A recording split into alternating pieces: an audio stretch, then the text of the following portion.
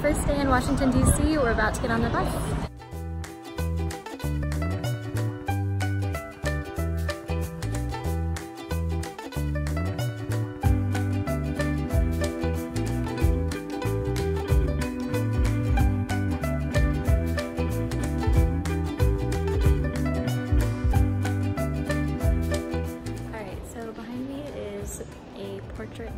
Four um, female Supreme Court justices. So we have Sandra Day O'Connor, Ruth Bader Ginsburg, Elena Kagan, and uh, Sotomayor.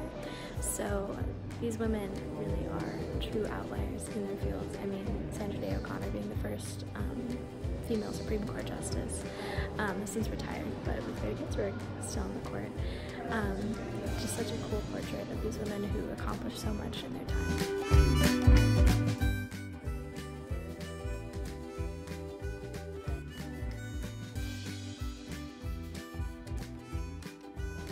So we've been walking through the National Portrait Gallery and um, it's just been so cool to see um, how Quantife was talking about the importance of expression in our lives and um, in his form of his literature, but it's so interesting to see just like, the amount of value that we place on expression, yet somehow also like discouraging it. Like we try to aim towards academic pursuits and often forget that we're surrounded by beautiful artwork. So just an interesting thing to see.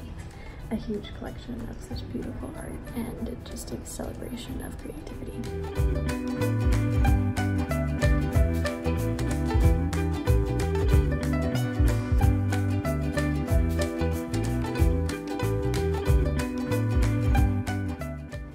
The first night, we went to Ella's Kitchen and had a wonderful cheese pizza.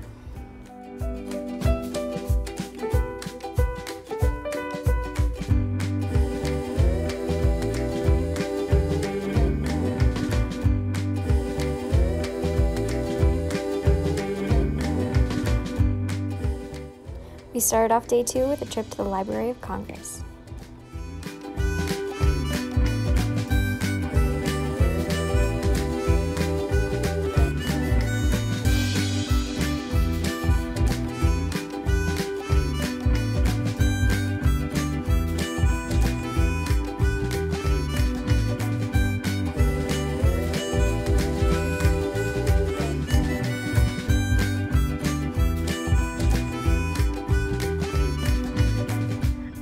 So we just got out of the Union Station.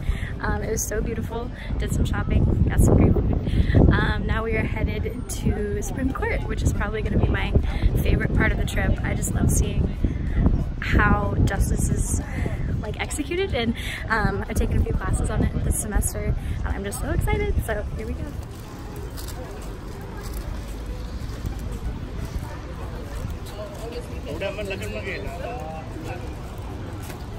Alright, here we are at the Supreme Court. We're number Um, one. So excited. You're number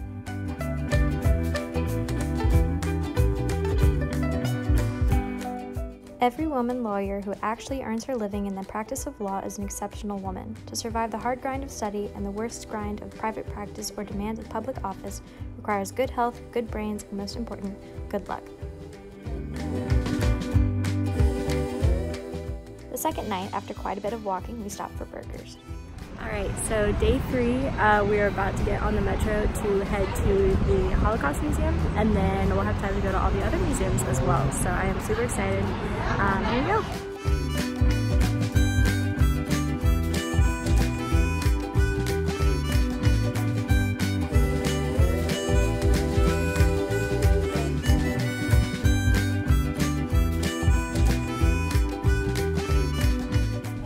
All right, so just finished up all of our activities for the day. We just um, had lunch at Union Station again um, and did the Holocaust Mo uh, Museum this morning, which was amazing.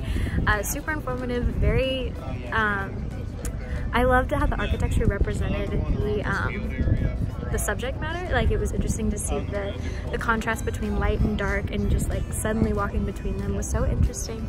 Just such a cool, immersive experience. So um, I'm so grateful that we got to experience this trip and we are going to head back to the hotel now and get on the bus. So